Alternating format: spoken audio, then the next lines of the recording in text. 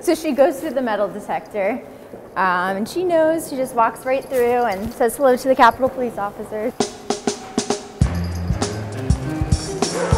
Go get it. Come on, get the ball. Sit.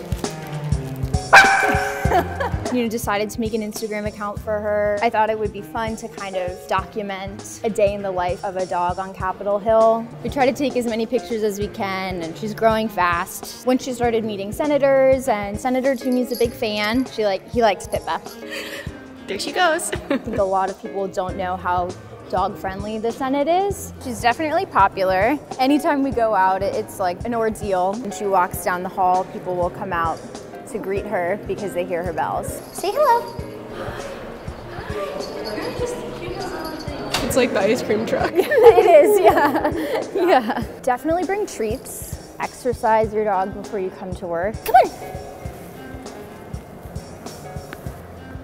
She's more interested in the food. Pip likes to play in the hallway or go for a walk. Go get it, go get it.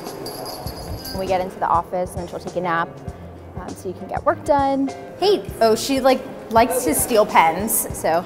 I do need that.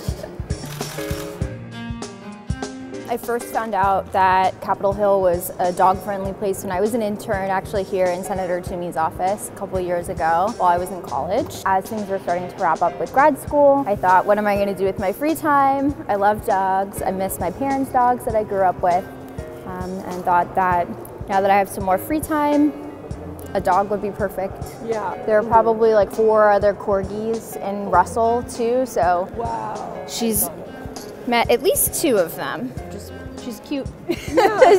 You're very friendly. Yeah.